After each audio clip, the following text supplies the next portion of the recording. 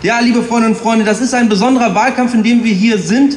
Dieser wird durchgeführt unter Corona-Bedingungen. Das bestimmt im Moment unser Leben. Abstand halten, Maske auf, Maske ab. Und natürlich ändert das auch die Art, wie man hier Wahlkampf macht. Und dieses Virus zeigt auf, wie unter einem Schlaglicht, was falsch läuft in unserer Gesellschaft. Es zeigt die, die Schwachstellen auf in all die politischen Fehlentwicklungen. Eigentlich wird uns jetzt ja bewusst, wie wichtig eine Gemeinschaft ist, die für uns da ist, die uns schützt und wie wichtig auch ein funktionierendes Gemeinwesen ist, das uns auffängt in dieser Krise. Aber seien wir ehrlich, in den letzten Jahren wurde genau das Gegenteil getan.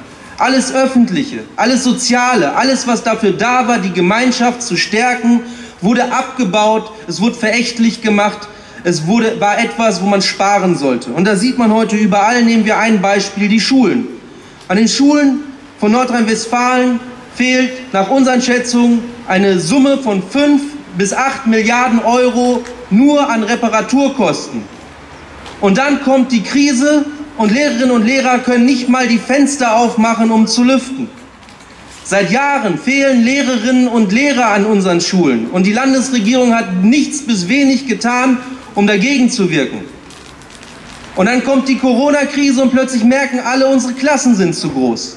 Seit Jahren leben wir mit einem Bildungssystem, das Ungerechtigkeiten und Ungleichheiten nicht eindämmt, sondern weiter zementiert.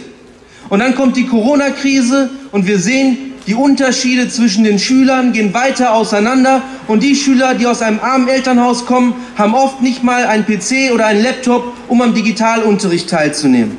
Und da sagen wir, es reicht. Es muss sich etwas ändern in unserer Gesellschaft. Wir müssen daran arbeiten, dass wir näher zusammenkommen, dass Solidarität wieder groß geschrieben wird. Wann, wenn nicht jetzt, liebe Freundinnen und Freunde?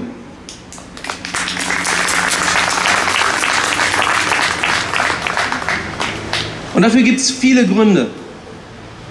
Seit Jahren wächst die Armut in unserer Gesellschaft. Und jetzt in der Krise, da sehen wir, dass Menschen, die von Hartz IV betroffen sind, ein 84 Prozent höheres Risiko haben auf einen schweren Krankheitsverlauf.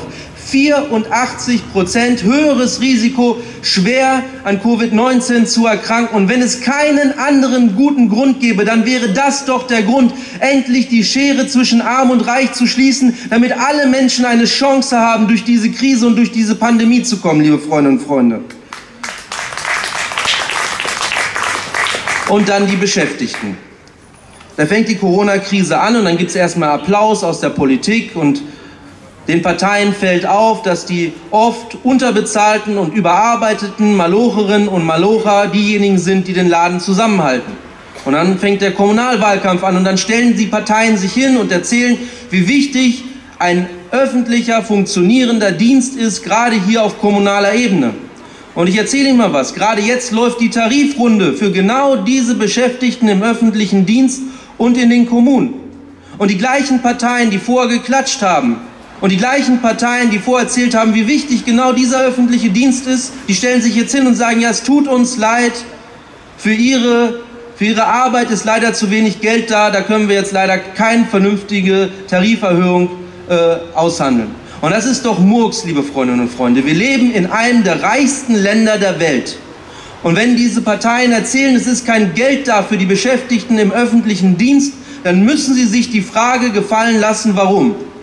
Und normalerweise zitiere ich nicht unbedingt die SPD, aber im Wahlkampf tue ich das ab und zu mal.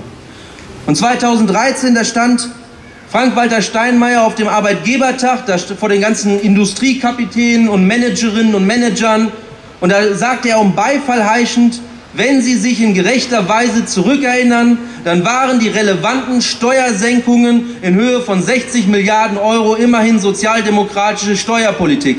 Und wir erinnern uns in gerechter Weise zurück. Wir wissen, wer den Superreichen, ihren Banken und Konzernen die Milliarden Euro geschenkt hat, die jetzt hier vor Ort fehlen und wo unsere Kommunen dran darben, wo kein Geld da ist für die Beschäftigten. Wir sagen, es reicht, wir müssen umverteilen. Die Superreichen, die, Super, die Multimillionäre, sie müssen zur Kasse gebeten werden, damit wieder Geld für die Gemeinschaft da ist, liebe Freundinnen und Freunde.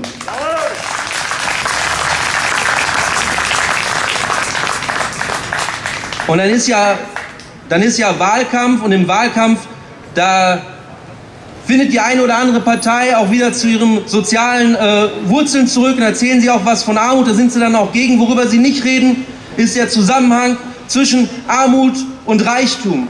Und ich sage, eine Partei, eine politische Partei, die nicht über diesen Zusammenhang zwischen dem extremen Reichtum auf der einen Seite und der bitteren Armut auf der anderen Seite reden will, die verpasst das Thema. Setzen sechs als Link verbinden wir diese Themen und sagen, wir können uns die Superreichen nicht mehr leisten. Wir müssen umverteilen von oben nach unten. Nur so geht Gerechtigkeit, liebe Freundinnen und Freunde.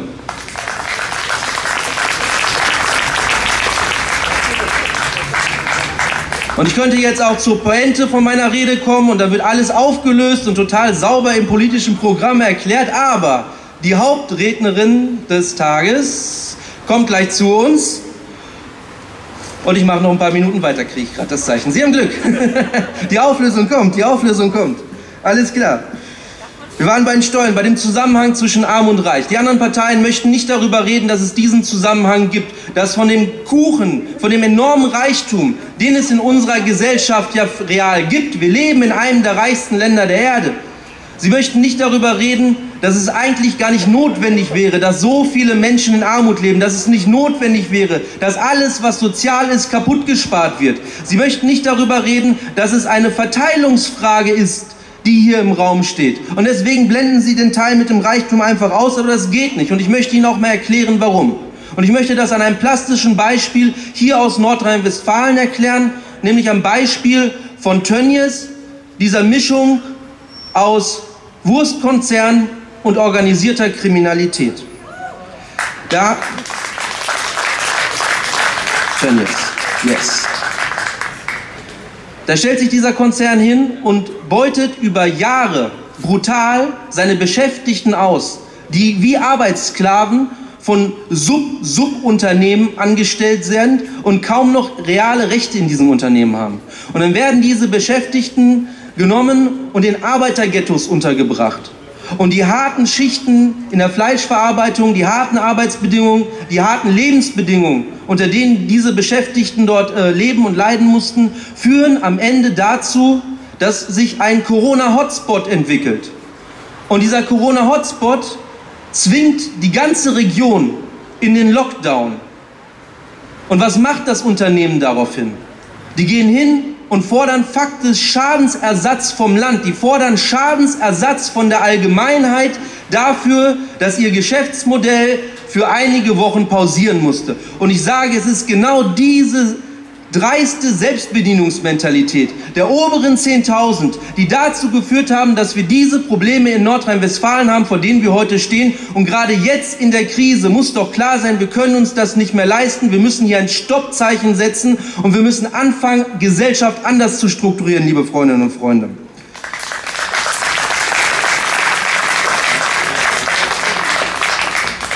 Und das läuft ja seit Jahren. Und die meisten oder viele von Ihnen, Sie kennen die Umfragen, Sie kennen die Untersuchungen dazu. Die Armut wuchs in Nordrhein-Westfalen mehr als doppelt so schnell wie im Rest der äh, Republik. In Regionen wie dem Ruhrgebiet ist heute jedes fünfte Kind, ist jeder fünfte Mensch von Armut betroffen. Und in Städten wie Gelsenkirchen sind 40 Prozent der Kinder müssen unter Hartz IV leben. 40 Prozent der Kinder in Gelsenkirchen leben von Hartz IV, sind gezwungen, unter solchen Bedingungen aufzuwachsen. Und die Armen wurden seit Jahren mehr und die Reichen wurden seit Jahren reicher. Und das macht ja was mit einer Gesellschaft. Das geht ja nicht spurlos an den Menschen vorbei, wenn so etwas passiert. Und dann über Jahre und Jahre und Jahre. Und natürlich entwickelt sich da auch eine Wut in der Gesellschaft. Und als Linker sage ich, ja, ich finde es richtig, dass es da eine Wut gibt. Ich bin auch wütend. Ich finde das auch ungerecht. Aber eine Sache darf nicht passieren und die ist in den letzten Jahren passiert. Diese Wut hat sich viel zu oft nach rechts kanalisiert. Da waren die Rattenfänger in Blau, die diese Wut genommen haben und in Wählerstimmen umgewandelt haben. Und ich sage, so geht das nicht. Und ich möchte das auch mal kurz erklären. Die Rechtspopulisten, simulieren eine Protestpartei. Sie simulieren Protest gegen das Establishment. Wenn man mal genauer hinguckt, Sie erinnern sich an die ganzen Parteispendenskandale, die da im Hintergrund waren. Das sind Leute, die vom Establishment finanziert wurden. Hintenrum. Und eine Partei, die vom Establishment finanziert wird, ist keine Anti-Establishment-Partei. Punkt eins. Punkt zwei. Diese Partei legt sich nicht mit den Reichen und Mächtigen in der Gesellschaft an. Die buckelt vor denen. Und was sie dann macht, ist, sie tritt nach unten auf die Schwächsten in der Gesellschaft. Und da sagen wir, das ist keine Protestpartei. Eine Protestpartei buckelt nicht vor den Reichen und Mächtigen und tritt nach unten. Protest ist, man macht den Rücken gerade und wehrt sich gegen die Missstände in diesem Land und sucht sich die Verantwortlichen und sucht, lässt es nicht an Sündenböcken ab, liebe Freundinnen und Freunde.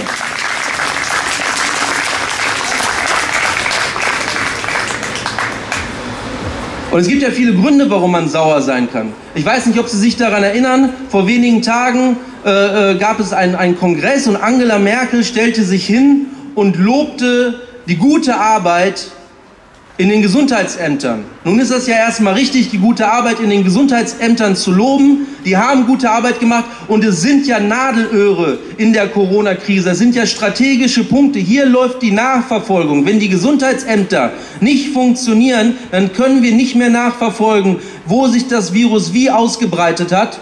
Und deswegen ist es richtig und wichtig, diesen Leuten den Dank auszusprechen. Aber wir sagen auch, Dank ist doch zu wenig diese Gesundheitsämter in Nordrhein-Westfalen, es gab da eine WDR-Umfrage zu, diese, diese Gesundheitsämter sind komplett unterschiedlich aufgestellt. In dem einen Gesundheitsamt testet man all das, was vorgeschrieben ist. Und in einem anderen Gesundheitsamt, eine Stadt weiter, da bietet man das nur an. In dem einen Gesundheitsamt ist man rund um die Uhr per äh, Corona-Nottelefon äh, erreichbar. Und in dem nächsten Gesundheitsamt nur zu den Öffnungszeiten. Die meisten Gesundheitsämter waren auf diese Krise überhaupt nicht vorbereitet und es musste Personal abgezogen werden aus anderen Bereichen der Kommune. Und die Arztstellen, die wir jetzt im öffentlichen Dienst so dringend brauchen, sind bei diesen Gesundheitsämtern seit Februar, also seit Beginn dieser Krise, genauso unterbesetzt wie jetzt. Da hat sich gar nicht groß dran, dran was getan. Und warum? Weil diese Stellen so schlecht finanziert werden. Und da sagen wir, das ist doch eine Folge der falschen Steuerpolitik der letzten Jahre, dass oben Geld geschenkt wurde, was unten fehlt. Unsere Kommunen waren nicht vorbereitet auf diese Krise. Und auch das ist ein Grund, sich jetzt neu aufzustellen, Gerechtigkeit zu fordern, umzuverteilen, damit unser Gemeinwesen stark genug ist, um uns zu schützen in dieser Krise, liebe Freundinnen und Freunde.